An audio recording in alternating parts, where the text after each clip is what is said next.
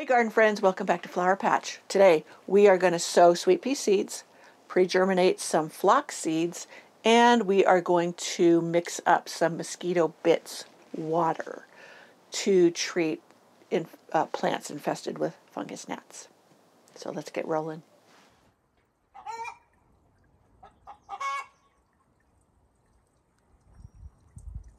If you enjoyed this video, please give it a thumbs up and or share with your friends. There's something here they might want to learn about. So first of all, let me move this plant. I was trimming this back. This is a um, Martha Washington geranium, also called a regal pelargonium. And it's been suffering. When I put it back in here this after summer outside, it already was looking puny. Um, it has very tiny bit left of green on it. I, I've been debating on just tossing it and starting, just getting another one. Um, and that reminds me, my husband has said he's going to take me plant shopping tomorrow, just for a little day away. And um, he asked where I wanted to go. And of course, I said uh, Green Acres over there in Elk Grove. So that's going to be fun. I couldn't help sharing because I'm excited. It's been a while. I've been wanting to go ever since roses uh, came in and they were saying they had all the bare root roses. And there's a couple of roses I'm looking for. One is by Star Roses and Plants. Isn't it Star Roses and Plants? I think. And the other is a Sunblaze Rose. And it's called, uh-oh, I forgot. It's a really pretty, oh, Dragon, Passion Fruit. Dragon, Dragon Fruit? I don't know. I'll put it up. Anyways, I'll know it when I see it. So that's on my radar for tomorrow and whatever else they may have in stock. The beautiful thing about the Sacramento area, which Elk Grove is at the southern end of Sacramento, um, is that being a nine zone 9B and being a warm climate, they have a lot of things in that others, like in colder climates, may not have. And up here, they don't have in stock uh, because they're catering to that area there that can plant right now. So that's a boon for me. It is two hour drive for us, but it makes a nice day away. So anyways, it's one of my favorite places to go. So this is all taken care of. I am going to put this over in the other greenhouse. I still got to get my plants up in the other greenhouse. Um, that way it can finish overwintering in there. And if it's come June, if it's not looking a whole lot better, it's getting tossed. I am done pampering plants. I've got they've got to either thrive or out they go because I don't have time for all the babying. So, I just it's hard for me. It really is to do that. I've always been such a uh, I've got to save it type person. All right, I'll just set it there for now. I'll probably trip over it, but who who cares? Okay, so I was going to do the phlox. Now here's the coffee filter and the baggie. So this is how I did the um, delphiniums before. Can you see this? Let me look into the, yeah, you can. I'm going to set up on this little tray thing that's here. I'm going to open the moistened coffee filter. Now this was recommended, and I've done it before, and I don't know, I didn't remember until one of my viewers said, hey, try the annual phlox in the coffee filter, just like you do the delphiniums. I thought, that's right. I forgot to do that, so thank you very much. I don't remember offhand who it was, but that's okay. You know who you are. So I'm going to do, I got quite a few left in here. I'm going to, I also going to try to do some indoors. Um, I did winter sow a bunch. And so they're supposed to be good that way. So I'm sprinkling them on here on the coffee filter. I want them to be a little far far enough apart that when they germinate, um, it'll they'll be easy to pick up without intermeshing. Because if they get very much of a root, they'll start twining around each other, and then you can't get them apart. So there we go. I folded over the coffee filter once over the seeds, and I make sure there's good contact between the coffee filter, because sometimes you can get little air bubbles in there. The coffee filter and the seed, and then I will slip it into this baggie. Now I didn't write on it, because I didn't know if my seeds were out here, and I didn't want to ruin a bag just because. Okay, this one was the Cherry Caramel Phlox. Now, I first spotted this on a YouTube video of a gal in Britain, little gal in Britain, and she started them on her windowsill. And they were just gorgeous in her garden. Phlox, cherry caramel. Now, I only brought the one baggie in here, so um, I'm only going to do the one set. I have this other one that is uh, Blushing Bride, I think. And let me see how many seeds are in there. I got quite a few if I want to try them too. You know, at first, I'm going to do this one, and if it's a success, then I'll do this one. Um, let me see how long it takes to germinate. It should say uh, seeding indoors, plant sprout time 7 to 30 days. That's quite a spread. So um, I be will be checking this in a few days, and then from five days on, I'll check it daily and then we will plant them up. And I will share how I do that when that happens. Thinking positively here, we're going to do it when it happens, not if it happens. Okay, so that I will take indoors. And I still have this here. I didn't bring um, my Gomphrena seeds out, but I'll do that another video because I've already got a lot going on in this one. Okay, so sweet peas. Now, it's often purported that you need to pre-soak your sweet peas. Um, I have found that that is not correct. They do just fine just sowing them directly in the in the soil. And if you have the taller pots, which I do, I have the four inch, which are not short, but the taller pots. Um, usually they are. I I'm looking around really quick. You know what? So that I have more room, I'm going to start them in my these little pots that I got from um, Bootstrap Farmer. Really love these pots. Um, and they're a nice good depth. And then once they, they are getting longer in here, I will then pot them up into the 4-inch pots. And these will save space on my plant rack in the house.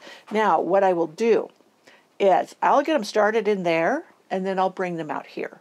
And they do fine in the cooler weather. They don't, um, they're not frost sensitive.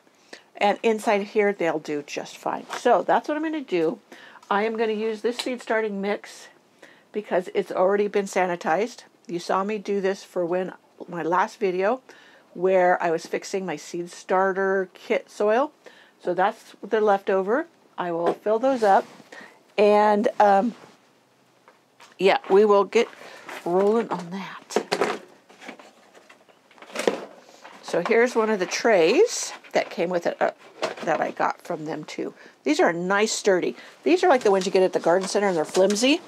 Um, but these ones I got at Bootstrap Farmer are very nice and sturdy. They will last me for years. This one's gotten a little gunky, so I'm going to need to go clean it out before I put those in it. But I will bring my tray over here. And I'll get my sweet pea seeds. I'll get everything cleaned up here so it's a good, nice surface to work on and it's not so cluttered. And then we will start sowing sweet peas. So got things a little bit tidier in here. I need to put this up out of the way. This got dumped out outside on a heavy wind day, so I had to top it up and bring it in. The ivies, this one is a needlepoint ivy, so it's got the real small leaves. Um, yeah, they do great outside here for me during the winter, so I don't have to bring them in. But, okay, so we got space here to spread out if I bat things away, it's the mosquitoes that are in here. Fortunately, they haven't been coming for me, so I don't know if sometimes they just get in my way. Okay, let me point you a little bit more this way. All right, we're good. Okay, we are going to get my tray to put underneath. As I fill up these, it can be quite messy, so I will do that. So these are for the sweet peas, and I have several varieties here that I could sow. I have this one is from Renee's Garden Seeds, heirloom pastel sweet peas. Let's see if that'll focus for you. And some of these are older, high scent. Now this one, if you have never grown this one, this one is called high scent for a reason, and that is because it is so sweetly perfumed. Some of them have more of a faint scent, and others are just, oh, the high scent is the one that is really, uh, oh, uh, I want to say odoriferous, very fragrant. So Sweet Pea Lady Grisel Hamilton. So you see how it's very lavender. Um, Royal Blend. So I, like I said, I've been collecting, I've been wanting to do more sweet peas. Now I have been starting them indoors or in um, pots instead of direct sown. Direct sown works great in our cooler climate, but the gophers love the seeds. So look at this one. This one I especially want. Watermelon.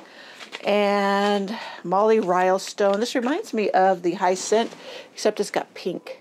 Pink and cream. And then this one was a dollar store seed packet, and it's got the different, yeah, there we go, colors. So I just will pick and choose which ones I want to do today.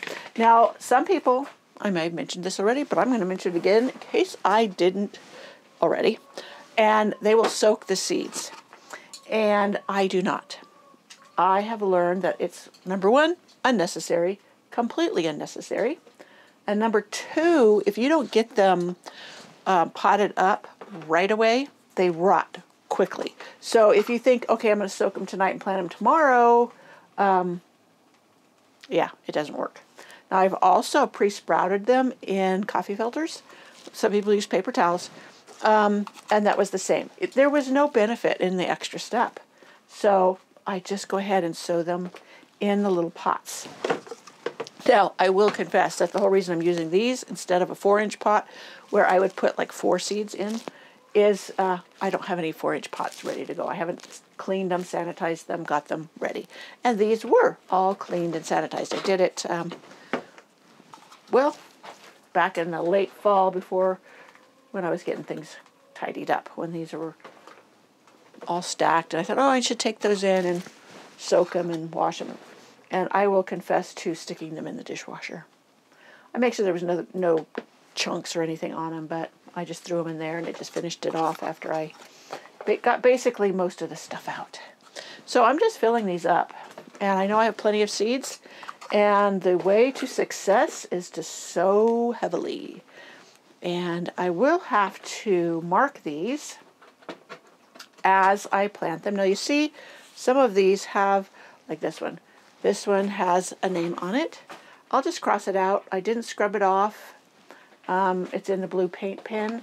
That can come off. You could squirt it with like alcohol. Um, not squirt it, I could rub it. You could put the alcohol on your rag and rub it off, and it, and it comes off. Um, I didn't take the time to do that. So I will probably use my Sharpie, which works fine, on it. And because it's in the black, I'll know that this year I chose the black. I, I do that. Um, I'll change the color per year. And that way I'll know, oh, that was last year's and this year I'm using black. So, okay, so how many have I got here? Four, three, that's 12. And then three more, that will be 15. Correct? So that should be sufficient. And then I'll put them on the white tray, which I scrubbed up, and then we'll put them in on the light rack in the house. I've got plenty of free space in there. Now I wanted to talk a little bit about winter sowing here um, and why I advise against most people um, sowing things like the warm weather things like zinnias and cosmos and whatever. Now, for me, that doesn't work. You cannot, zinnias, cosmos, all of those like warmer weather and they are cold temperature sensitive. And my springs are so, you know, persnickety. We'll get a, a week or two of very warm weather. So if I winter sowed zinnias or cosmos or whatever, they'd come up. Then we'll get a hard freeze. Well, if they have not been taken somewhere to be protected, then they die. And I did um, a test because I thought a lot of people keep saying they're sowing successfully, zinnias, cosmos, etc. And all I can think is they don't have that weird spring that we do. Um, they probably have the warmer nights, even zones lower than mine. I am a zone 8 and we've had lots of discussions on zones. Now, the zone only tells you your average low temperature. It doesn't tell you how long you have that cold temperature, and that can have a bearing on what lips. If it was like with tomatoes, um, was it? It was not last year. It was the year before. Um, we had a warm spell. I said, "Oh, I'll put my tomatoes out. Looks like it's safe." And then we had a night that dropped to 20 degrees. And I had wrapped them. I had done all this protective measures. And the first night they looked good. I took the thing off. Like, "Oh, okay, they made it through." Wrapped them all back up because we're supposed to have another cold night. The second night, pulled it off. They looked like, oh, they didn't like it, but it hadn't been as cold as the first night. And then the third night, same thing. And by the third night, or the fourth day after the third night, they just died. So they could take it once, that hard freeze, and even twice, they came through it. Third time, they said, forget this. So it's the same with the warm weather lovers like zinnias and whatever. So if you've winter sowed them, they come up when it gets warm, and then all of a sudden you get cold weather again, they'll die, and or they will struggle um, the rest of the season because they need a good, healthy start. I'm just getting. This is my birdseed scooper, but I needed a little bit more soil in these. Okay, so back to, and that's like I said, that's why I don't winter sow those. I sow, if I want to get an early start on those, I take them in on the light rack and then I'll harden them off. And I have a video on how I harden off. It's a little different than a lot of people. Um, then I will bring them out when the temperatures have settled down. And even then, I will bring them in here. So, you know, it, it there it's not worth it to try to winter sow them if you have those type of springs. I just had one viewer tell me that she had went ahead um, because they do have warmer weather and so zinnias, and then they all came up because they had a warm spell. And then they were supposed to get cold again and what to do. And I said, you got to take them in where it's going to be warm or they just won't make it. So that's why I don't start them winter sowing. And uh, it's just not worth all the work. And then you lose them because you have, you know, super cold weather. The, the, the winter sowing method was never intended for warm weather type plants or the ones that like the warmer weather. It was always for the cold hardy plants. Um, that was what the whole idea was. And I know which ones I can winter sow because um, they will live through, like mine will just reseed themselves out there, the ones that are hardy. Um, they'll come up like the larkspur. I have patches of larkspur out there. I should show you. Um, and that, that they did that. They resowed themselves because I let them go to seed last year. They sprouted. They're all about this tall and then the cold weather came, so they just sit there. Um, they don't mind the snow, they don't mind freezing, but then come spring when it gets really warm, they just come to life and start growing. So I know that's a plant I can winter sow. They're related to delphiniums, so hopefully all my delphiniums that I winter sowed will come through, and then the ones I'm starting indoors. Okay, so let's get started. Got these all filled up. I really want these watermelon ones.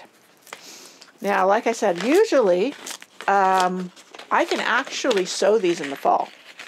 And they'll sprout and then they'll overwinter if depending on the winter. So, you know, that's why I don't always just go ahead and sow in fall. So I'm going to set these on top of the soil. I'm going to put two seeds in each pot towards the far apart from each other, like one in this corner and one in this corner one in this corner and one in this corner. Now, um, like I said, I do not pre-sprout. I do not get special pots for them, like root trainers. Now, maybe somehow it would benefit them, but I'm not going to go to the expense um, when I, it already works for me this way. So, oh, I'm getting a lot. I want to really plant a lot of these. So if I have to plant these others differently, I will because I really want this color. And I love when you get a mass of one color. It's called en masse. E-N-M-A-S-S-E. Or you can call it en masse. It's French. But I'm not French. So we'll call it en masse. En mass. Masses! Oh, okay. Alrighty, so now Sweet peas, half an inch below the surface. So I will just press them in. What I think is about half an inch.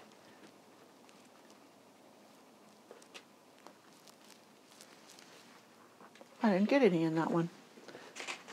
I missed one. Okay, so like I said, two in each container. At least one, you know, will come up. And when it comes time, if I need to, I will put these, pot these up into the taller pots. And um, then I will, now some of them, I probably, the, the soil around it, I could scooch it over. I'm just going to put some on top. As long as they're not too deep, they'll be fine. I've even had them sprout on top of the soil. That's why it's I know it's not that big of a deal. A couple of them I didn't squish down. That's what happens when I get talking and I'm not paying attention closely to what I'm doing. Now this is very airy mix. You saw me try to moisten the seed starting mix that came in that one starter kit in the last video. And it was also the video where I was talking about starter fertilizers. So if you want to see that, I'll, I'll link it in the description box below for you. And also I showed you how I um, sterilize the soil. It's another way. Okay, so now I'm just going to firm this down. You always want to firm the soil down onto your seeds. That contact is important between the soil and the seeds.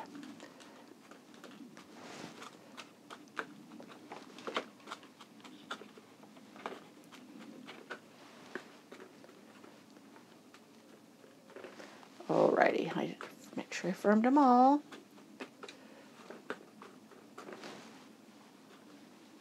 Okay, it all looks good.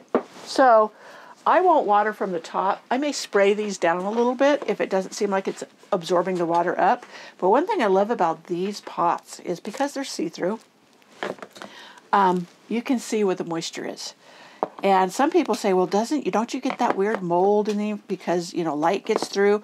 When they're in this together, all shoved close together, um, it doesn't. So I'm not going to bother marking all of these because I only sowed the one type, and I will make out a marker over there that I have cleaned up, and I'll put it in those pots. And any others I may have share this tray, I then will mark, and um, that just saves time.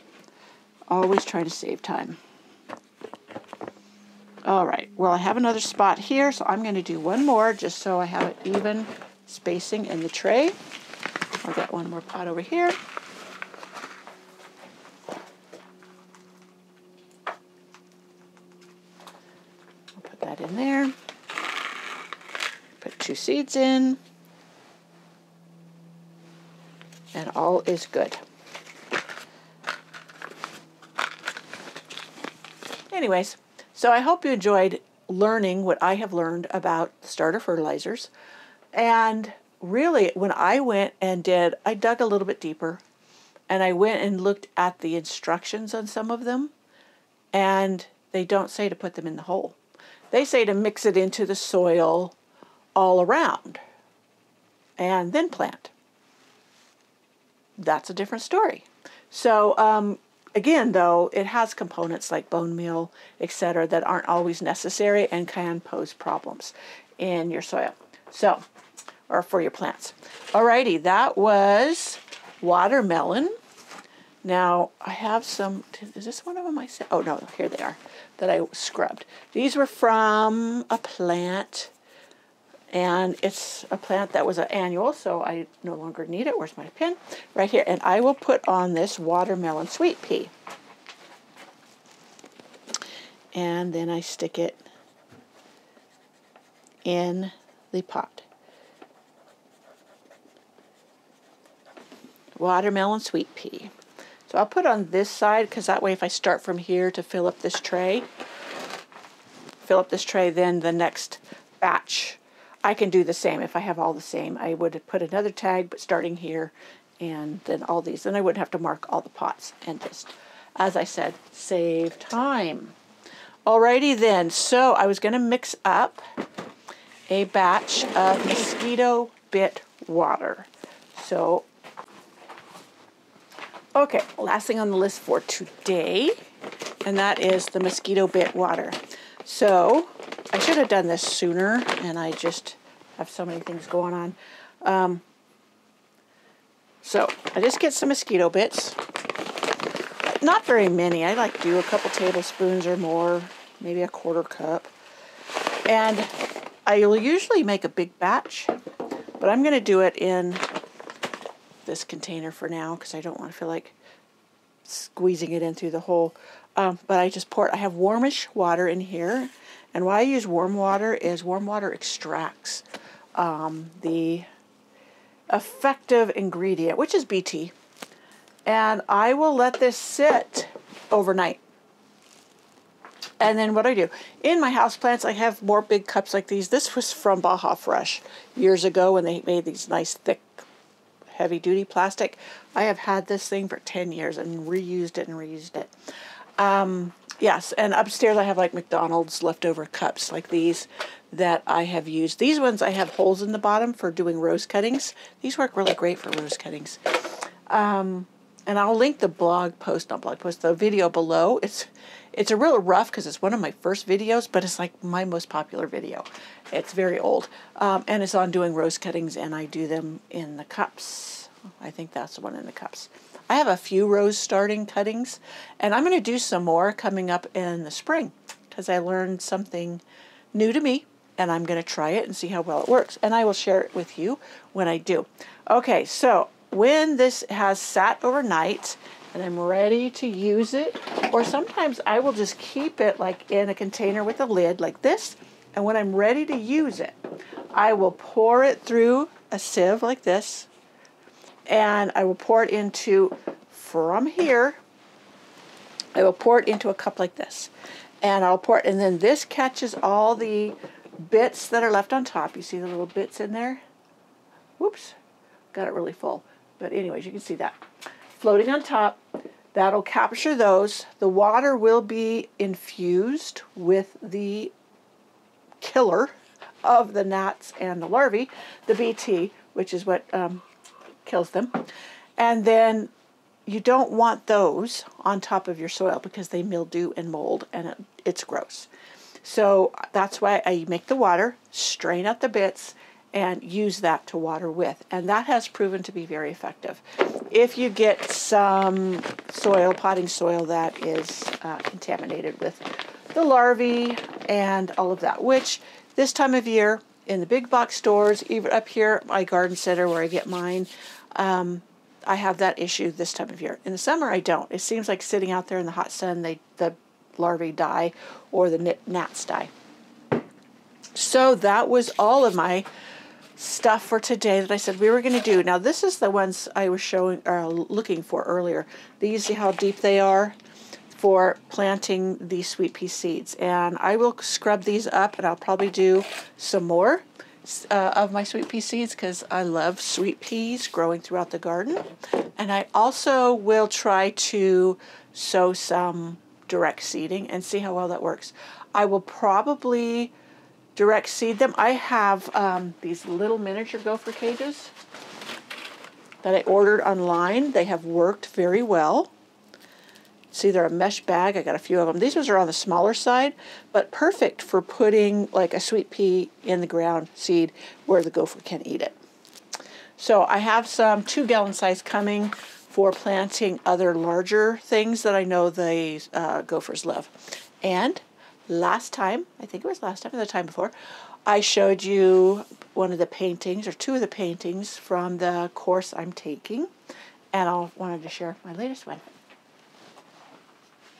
So this one is called the Winter Barn or Snowy Barn. Now I know where I need to work on it a bit more, but I'm pleased with how it turned out and with learning this new method of painting. My prior or the way I'm used to painting is very tight and controlled and um, yeah. So learning to be loose is a, a challenge, but it's really nice to do. And you really have to get past the what's called the messy middle when you're ready to chuck that painting out the door because you think it's turning out horrible.